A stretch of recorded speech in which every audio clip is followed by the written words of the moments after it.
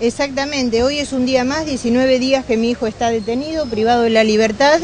Y bueno, y le pedimos eh, al juez Atencio que estudie minuciosamente todos los elementos que tiene, que la vida de un inocente está en sus manos, no solamente de mi hijo, sino de toda la familia,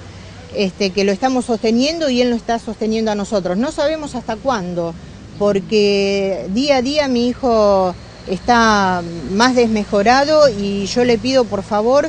que después no voy a aceptar eh, ningún resarcimiento económico, ningún pedido de disculpas si a mi hijo le llegara a suceder algo. Sí, ayer, eh, ayer sin una cosa inesperada, a mi hijo se le comunicó el cambio de carátula y tuvo, lo trajeron a declarar o a informarle, no sé bien cómo se, es en términos legales que se dice,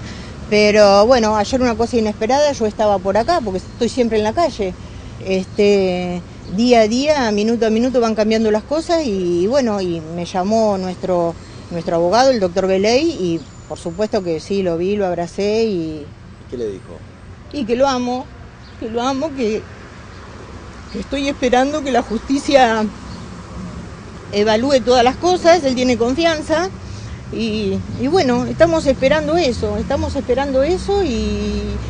y bueno, no sé, no sé, por eso yo voy a apelar hasta lo último, porque eh, no, no puedo pensar, eh, no, no, nosotros hace 19 días que no nos sentamos en familia porque falta un miembro de nuestra familia, que no, que comemos todos separados o que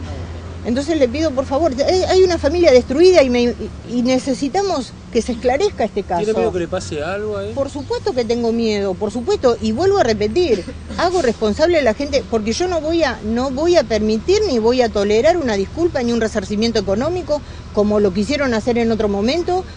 eh, por mi hijo.